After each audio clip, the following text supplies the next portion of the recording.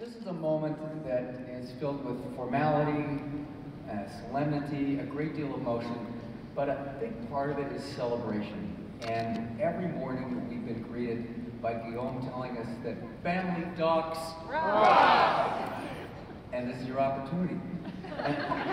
I'm guessing somebody has a guitar here somewhere. and while I'm doing this, let's hear it for the AV guys, Robinson, who made this possible.